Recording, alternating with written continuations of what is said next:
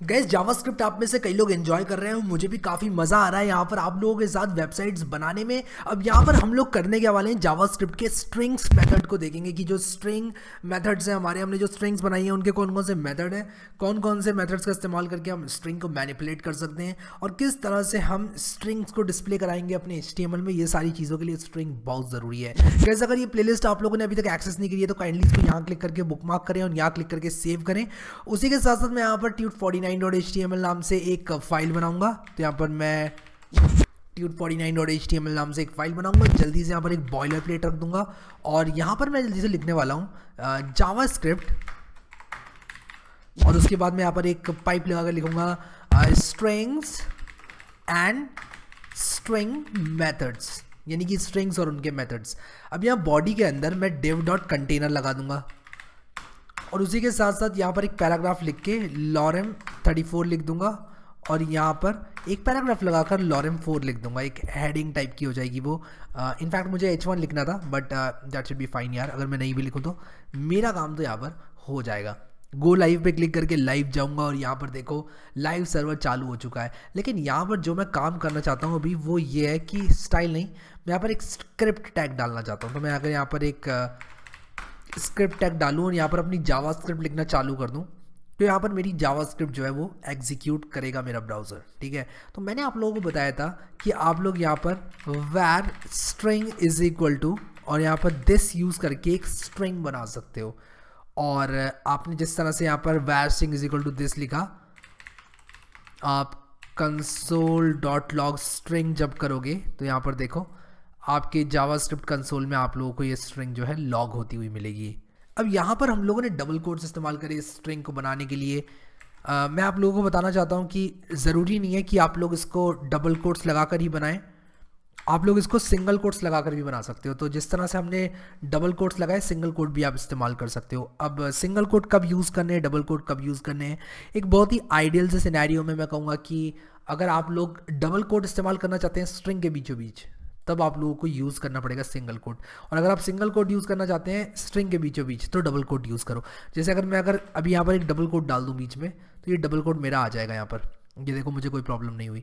लेकिन अगर मैं इसको डबल कोट से सराउंड करके डबल कोट अंदर डालूँ, यानी कि सिंगल कोट अगर इसके अंदर डाल दूँ, अभी तो ये प्रॉब्लम में आ गया. ये देखो, यहाँ पर अनएक्सपेक्टेड आइडेंटिफायर का एरर भी आ गया. तो जब भी आपको अपनी स्ट्रिंग में डबल कोट यूज़ करना है, तब आप लोग क्या कर सकते हो? सिंगल कोट से सराउंड कर दो। सिंगल कोट यूज़ करना है तो डबल कोट से सराउंड कर दो। और जिस तरह मैंने यहाँ पर ये स्ट्रिंग बनाई है, उसी तरह मैं और स्ट्रिंग्स भी बना सकता हूँ। जैसे कि मैं यहाँ पर नेम इज़ इक्वल टू लिख सकता हूँ यहाँ पर। हैरी और उसी के साथ साथ मैं मैसेज इज़ इक्वल टू लिख सकता हूँ। Harry is a good boy ठीक है? तो यहाँ पर हमने ये स्ट्रिंग्स बना ली हैं। अब अगर मैं यहाँ पर स्ट्रिंग में नेम करूँ और नेम में मैसेज जोड़ूँ तो हम लोगों ने यहाँ पर देखा था जो प्लस ऑपरेटर होता है, वो हमारा दो नंबर्स को जोड़ता है, लेकिन स्ट्रिंग के केस में ये हमारी स्ट्रिंग्स को कॉन्कैटिनेट कर देता है, यानी कि आपस में जोड़ देता है। तो यहाँ पर हम लोग देखते हैं इसको अपने कंसोल में किस तरह दिखाई दे रही है। जैसे कि आप लोगों ने देखा, ये बिल्कुल इस तरह दिखाई दे रही है। जिस तरह हम चाहते थे, हमने इनको ऐड कर दिया और हमारी जो स्ट्रिंग्स हैं, वो एक साथ मर्ज होकर दिख रही हैं। अब यहाँ पर आप लोगों को एक चीज़ दिखाना चाहता हूँ और मैं आप लोगों को बताना चाहता हूँ टेम्पलेट लिटरल के बारे में। और इसका नंबर इसका मतलब ये है कि मैं var T E M P is equal to अगर कुछ इस तरह से बैक टिक्स लगाकर एक स्ट्रिंग बनाओ ध्यान से मेरी बात सुनना, ठीक है?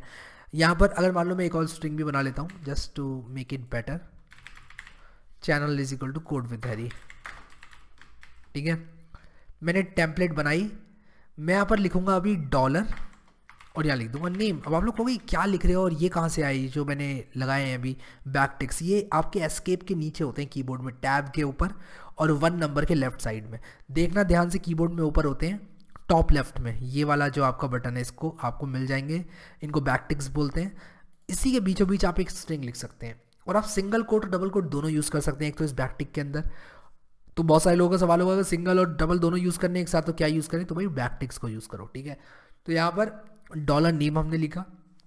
उसके बाद लिखा इज़ अ नाइस पर्सन फिर उसके बाद लिखेंगे and he has a channel called dollar channel ठीक है? मैंने कुछ इस तरह कर दिया। अब अगर मैं यहाँ कंसोल डॉट लॉग ये ना लिखकर कंसोल डॉट लॉग टैंप लिखूँ।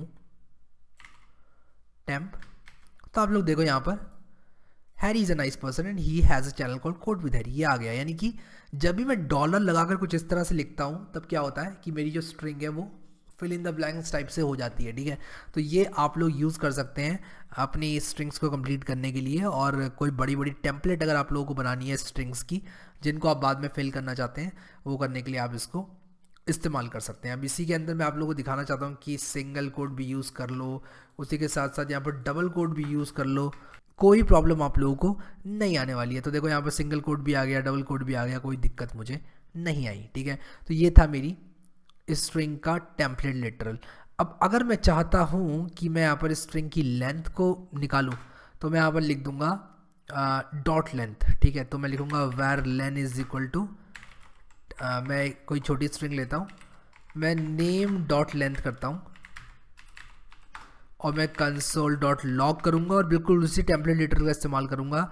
लेंथ ऑफ़ नेम इज़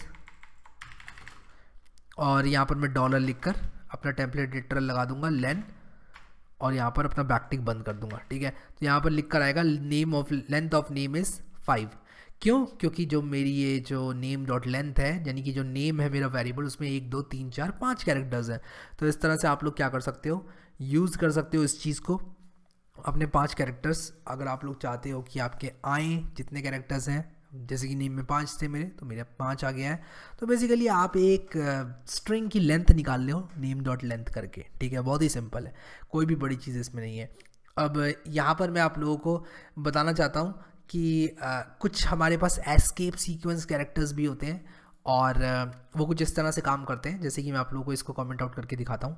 इसको मैं कमेंट आउट कर देता हूँ और नीचे मैं अभी यहाँ पर लिखूँगा कंसोल डॉट लॉग मैं लिखूँगा हेलो और वर्ड और उसके बाद मैं लिखूँगा यहाँ पर back slash N back slash N लिखूँगा और उसके बाद हैरी लिखूँगा, ठीक है? तो यहाँ पर आप लोग देखो, इसको मैं कंसोल लॉक करूँगा तो हेलो वर्ड आया बैक स्लैश एन से ये नीचे आ गया। तो जो बैक स्लैश एन है वो मेरा एक सीक्वेंस एस्केप सीक्वेंस कैरेक्टर है।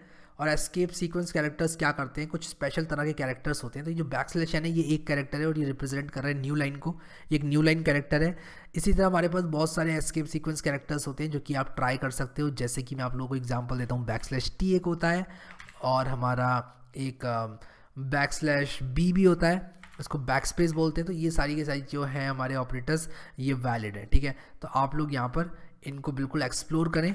और मोस्ट uh, ऑफन आप यूज़ करेंगे एक तो बैक स्लैश एन नहीं तो बैक स्लैश बैक स्लैश भी आप यूज़ कर सकते हैं। उससे क्या होगा कि अगर आप लोग सिर्फ़ एक बैक स्लैश देखना चाहते हैं तो बैक स्लैश बैक स्लैश दो बार लिखना पड़ेगा ताकि अगर यहाँ पर आपका एन है तो वो कन्फ्यूज़ ना हो जाए कि ये बैक स्लैश एन है। नहीं तो अगर एक एक बैक स्लैश लगाऊँगा तो यहाँ पर ये इसको एक न्यू लाइन समझ बैठेगा। अगर मैं सच में एक बैक स्लैश और एन प्रिंट करना चाहता हूँ तो मैं दो बैक स्लैश लगाकर अपने बैक स्लैश को एस्केप कर दूँगा। अब ये चीज़ कई लोगों को जो है बहुत ज़्यादा डरावनी सी लगेगी बट मैं बता रहा हूँ उसका यूज़ ज़्यादा है नहीं। बैक स्लैश एन पता होना चाहिए आपको। और वैसे भी बहुत सिंपल है समझ में आ गया होगा। आई होप जितना एज लॉन्ग एज आपको समझ में आ गया कि back slash N new line पर ले जाता है दैट शुड बी गुड ठीक है? सो so, इस तरह से आप लोग जो है स्ट्रिंग्स को इस्तेमाल कर सकते हो। ये हमारा बेसिक था स्ट्रिंग का और स्ट्रिंग जो है वो आप लोग स्ट्रिंग कंस्ट्रक्टर से भी बना सकते हो आप कुछ इस तरह से भी स्ट्रिंग बना सकते हो।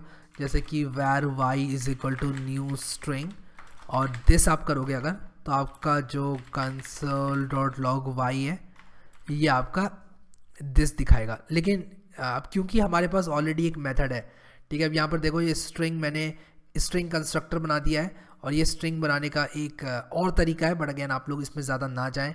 और, मैं बस यही कहूँगा कि स्ट्रिंग जो है वो आप नॉर्मल तरीके से ही बना लें कंस्ट्रक्टर से ना बनाएँ। तो आई होप कि समझ में आ गया होगा आप लोगों को और आप लोग स्ट्रिंग के जो बेसिक्स है उसको समझ गए होंगे। अब हम लोग जल्दी से स्ट्रिंग के कुछ मेथड्स को देखेंगे अगली वीडियो में और उसमें हम लोग ये देखेंगे कि स्ट्रिंग्स के वो कौन कौन से मेथड्स हैं जो कि हम यूज़ कर सकते हैं अपने आ, अपने प्रोग्राम को अपने जावास्क्रिप्ट कोड को जो कि हम वेबसाइट पे शो करना चाहते हैं, उसको एफिशिएंट बनाने की। एक बहुत ही हल्का सा टेस्ट देना चाहूँगा कि स्ट्रिंग्स क्यों यूज़ कर रहे हैं इस बात का, ठीक है? जैसे मान लो मैं यहाँ पर लिखता हूँ document dot get element by ID ठीक है? और आईडी रख देता हूँ यहाँ पर स्पैन ठीक है? या फिर कंटेंट तो मैं कुछ इस तरह से dot inner H T M L is equal to लिख सकता हूँ। कुछ स्ट्रिंग दे सकता हूँ। मान लो मैंने यहाँ पर बी दे दी या फिर काम करता हूँ एच थ्री दे देता हूँ। This is an H three heading कुछ इस तरह से मैं दे देता हूँ। और कंटेंट नाम की आईडी का मुझे वो भी बनाना पड़ेगा तो मैं यहाँ पर एक काम करता हूँ।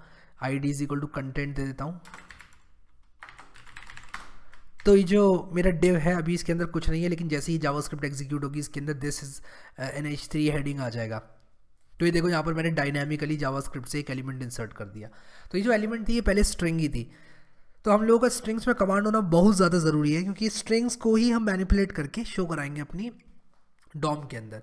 सो आई होप कि स्ट्रिंग्स आप लोग समझ गए होंगे और uh, अब हम लोग स्ट्रिंग के कुछ इंपॉर्टेंट मेथड्स को देखेंगे और uh, फिर जल्दी से हम लोग अपने डिस्कशन को फिनिश करते हुए एक बहुत ही अच्छी सी वेबसाइट बनाएँगे क्योंकि मैं इस कोर्स को बहुत ज़्यादा प्रैक्टिकल रखना चाहता हूँ बिल्कुल भी ज़्यादा थ्योरेटिकल नहीं रखना चाहता हूँ।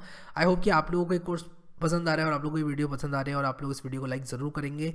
अभी के लिए इस वीडियो में इतना ही गया इस डिस्क्रिप्शन में मैं सब कुछ आप लोगों को दे दे रहा हूँ, सारा कोड जो भी चीज़ है, सब आप लोगों को मिल जाएगी डिस्क्रिप्शन में इस प्लेलिस्ट को बुकमार्क करके। यहाँ क्लिक करके और यहाँ क्लिक करके इसको सेव कर लेना अपने पास। Thank you so much guys for watching this video and I will see you next time